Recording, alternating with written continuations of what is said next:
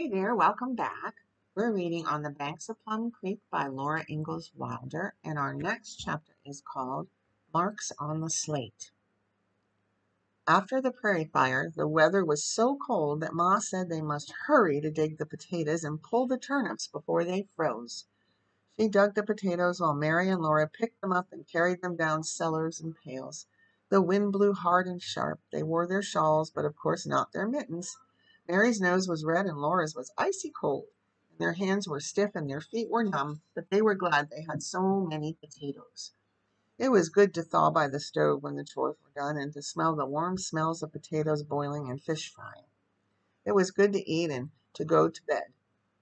Then in dark, gloomy weather they pulled the turnips. That was harder than picking up potatoes.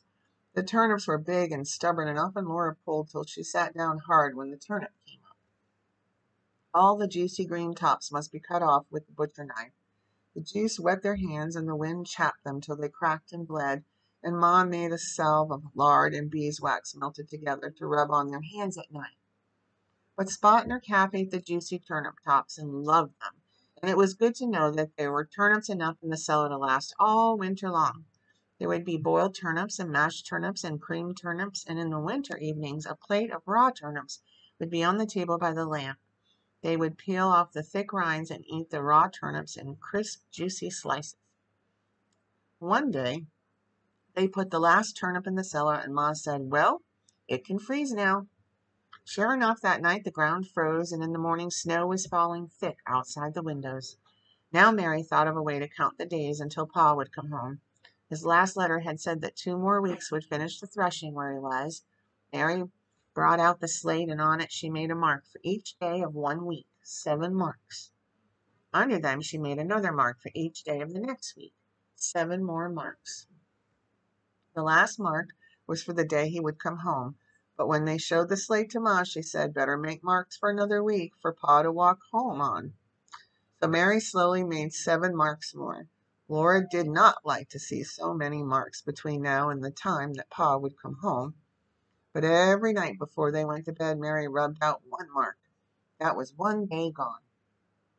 Every morning Laura thought, This whole day must go by before Mary can rub out another mark. Outdoors smelled good in the chilly mornings. The sun had melted away the snow, but the ground was hard and frosty. Plum Creek was still awake. Brown leaves were floating away on the water under the wintry blue sky. At night it was cozy to be in the lamp-lit house by the warm stove.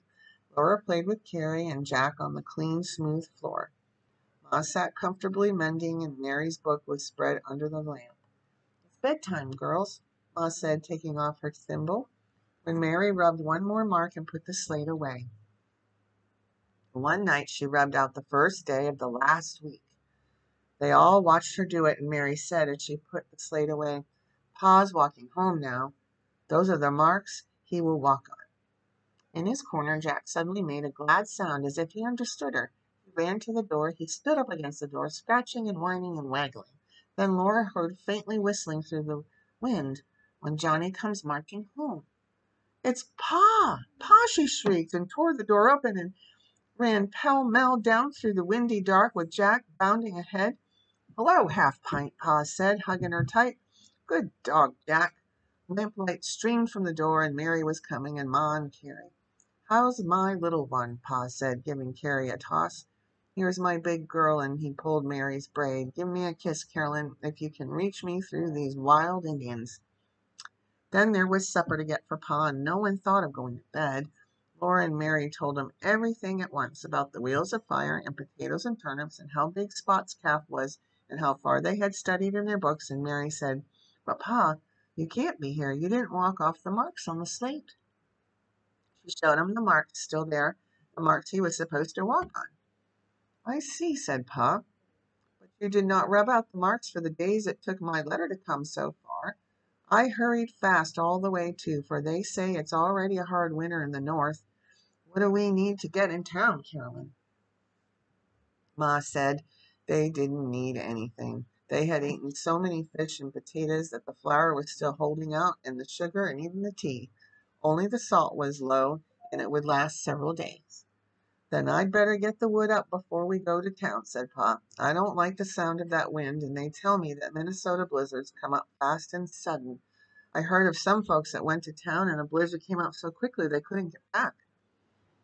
Their children at home burned all the furniture, but they froze stark stiff before the blizzard cleared up enough so the folks could get home. Well, I don't want that to happen. That ends our chapter tonight. Let's get tucked in safe and sound. Get a good night's sleep. Be safe. Always be kind. And I'll meet you back here tomorrow for the next chapter On the Banks of Plum Creek.